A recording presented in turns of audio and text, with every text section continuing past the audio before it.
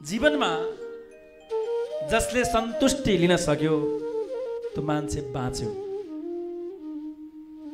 मैले हिजो अस्तिको दिनमा पनि बताएको थिएँ कतिपय मान्छे जीवनभरि असन्तुष्टि भएर रोएर मर्छन्। रोएर के? यो पाइनँ गुनासो मात्रै। मलाई यो भएन। ए भगवान् मलाई किन यस्तो बनायौ? मलाई अलि राम्री बनाइदिएको भए के जान्थ्यो तिम्रो हँ? किन मलाई कालो छाला दियौ? किन मलाई होचो बनायौ? किन मलाई पुड्की बनायौ? किन मलाई यस्ती बनायौ? किन मलाई गरिब बनायौ? गुनासोमै जीवन बिताउनेहरूको सङ्ख्या पनि लाखौँ छ। त्यसैले जे प्राप्त छ त्यसमा सन्तुष्ट लिन सक्नुपर्छ। यदृच्छा लाभ सन्तुष्ट भनेको त्यही नै हो। यदृच्छा लाभ सन्तुष्टो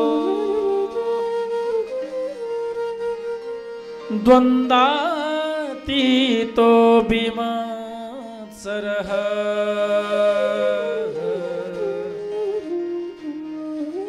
द्वन्द्वातीत झगडाभन्दा माथि उठ्नुहोस्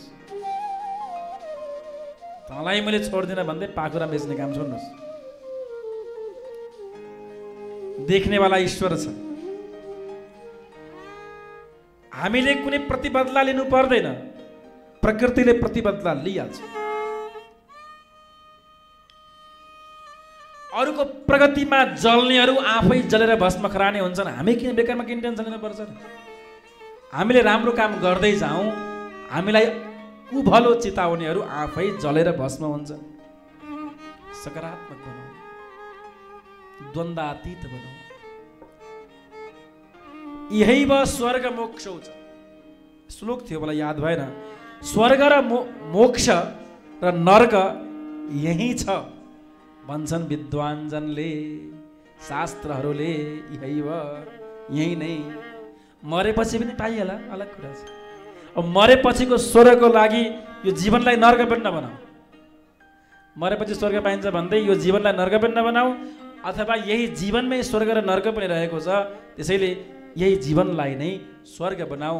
महासन्त एकजना महर्षि महेश योगी उहाँले भन्ने गर्नुहुन्थ्यो भूतल पर स्वर्ग बनाना है। यो पृथ्वीमै स्वर्ग बनाउने इच्छा छ मेरो। भन्नुहुन्थ्यो उहाँले। र उहाँको अर्को पनि उद्बोधन के थियो भने सारा संसार सारा विश्वको अब सनातन धर्म ही पथ प्रतिष्ठ करेगा। पर यह कर्म जो है, नेपाल से ही प्रारम्भ होगा भन्नुहुन्थ्यो सारा विश्व अब सनातनमय भन्ने छ तर त्यसको ह्यान्डलिङ नेतृत्व नेपालबाट हुनेछ भनेर उहाँले अस्तो। अब स्वर्ग र नर्क। स्वर्ग नर्क। जो मान्छे खुसी रह्यो, जो मान्छे सकारात्मक भयो जसले पूजा गर्छ जसले आरती गर्छ जसले पाठ गर्छ त्यो भजन कीर्तनमा नाच्छ त्यो मान्छे स्वर्गमा छ। जे प्राप्त छ त्यही प्राप्त मलाई त पुग्या छ है भन्ने मान्छे स्वर्गमा छ। मारा मार दौडा दौड राम राम राम राम राम राम यो पनि चाहियो त्यो पनि चाहियो यो पनि मेरो त्यो पनि मेरो। एक खबरदार भनेको छ झगडा गरेको छ लड्या छ कुट्या छ त्यो मान्छे जिउँदै पनि नर्कमा छ। छ कि छैन? कृष्ण गिरिजी ठिक भने मैले? गलत भनेको छु भने भन्नुहोस् है। मान्छे यही नर्कमा छ जो जलिरहेका छन्। एउटा मान्छेले प्रश्न गरे महाराजजी हजुरले यत्र ठुला ठुला कार्यक्रम गर्नुभएको छ मन्दिरहरू गुरुकुलहरू ठाम ठाममा राम राम राम। मान्छे जल्ने मान्छे पनि त होलान् नि। मैले भने होलान्? कसलाई ध्यान छ कसलाई समय छ र को जल्या छ र कसले कसले प्रशंसा गरेका छ र कसले चाहिँ गाली गरेको छ सुन्न कसलाई समय छ र? जल्नेलाई के भन्नुहुन्छ? मैले पनि जल्ने आफै जलेर भस्म हुन्छन् मलाई कुनै फरक पर्दैन। कृष्ण कन्हैयाला कि अवस्था यही होस् सबैको। अवस्था यही होस्। जसले नेगेटिभ सोच्छौ आफै जल्छ के जीवनमा खुसी हुने एउटा सूत्र भनिदियो मैले। सबभन्दा खुसी मिल्ने सूत्र। भनिदेऊ सबभन्दा खुसी मिल्ने जीवनमा सूत्र हो। एउटा। क्षमादान। यो कुरा मैले भन्दैछु अष्टावक र गीताको तात्पर्यबाट। अष्टावक्रजीले भन्नुहुन्छ दुनियाँमा सबभन्दा खुसी हुने मान्छे त्यही हुन्छ जसले क्षमा दिन सक्छ। कसै गल्ती गर्यो उसले हेप्यो छिमेकीले साह्रै दुःख दियो एकदमै हेप्यो। अब जीवनभरि यसले मलाई हेपेको छ यसलाई पनि म छोड्नेवाला छैन भन्यो भने के भयो? जीवनभरि दुःख मिल्यो। त्यसले मलाई गाली भन्ने गाली गर्ने। त्यसले त्यसले मलाई पातकी भन्ने। यसलाई त म मार नमारी छोड्दिनँ भन्यो भने के भयो? जीवनभरि जलन भयो भित्र आफै मऱ्यो आफै जल्यो। छोडिदे भाइ माफ गरिदिया कति आनन्द कति आनन्द के। जसले भन्यो उसैको जिब्रो अपवित्र भयो। उसले मलाई त त ममा भनेर मेरो के जान्छ र उसैको बाणी अपवित्र भयो उसैको सोच भ्रष्ट भयो उसैको जीवन भ्रष्ट भयो। मलाई कुनै फरक पर्नेवाला क्षमादान दुनियाँको सबभन्दा ठुलो दान क्षमादान हो। यदि क्षमाशील भयौँ भने हामी अति खुसी हुन्छौँ। कहिले दुःख हुँदैन क्षमा गर्थ्यौँ कि? बुहारीले मलाई साह्रै हेपी भन्दै जीवनभरि छोरो आओस् न विदेशबाट। मैले जानेछु अब बस्न छ त्यही बुहारीसँग चौबिसै घन्टा। यसलाई छोरो आओस् न पहिला जानेकी छु। दुःख मिल्यो। एउटा घटनाक्रम भनौँ हाम्रो गाउँमा पर्वत जिल्लामा मेरो जन्मस्थान हाम्रो भन्दा तल्लो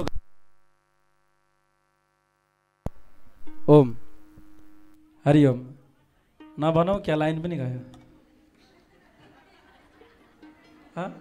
भनौँ। ल भन्छ प्रायशः घर घरको यो कहानी हो। घटनाक्रम मैले मेरो गाउँको भने तापनि यो घटना घर घरको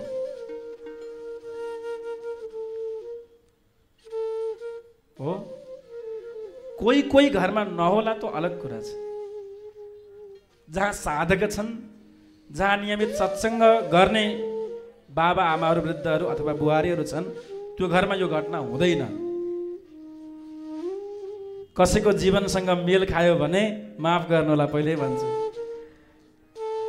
आमा चाहिँले छोरोले बुहारीलाई माया मान्यो भने रिसिएर बस्ने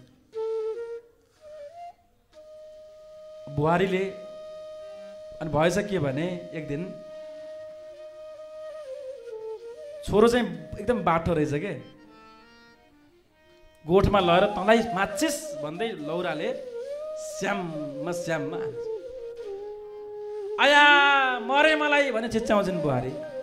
उता घरभित्र बुढी आमा मुसुक्क हाँस्छन् हो मेरो छोरीले तल आयो बुहारीलाई भने। मेरो छोरोले तल आयो बोले आया मरे भन्छन् छोरोले श्याम श्याम कि श्याम श्याम कि श्याम आवाज आउने गरी लाठीले पिट्या पिटाइन्छ गोठमा। उता आमा खुसी।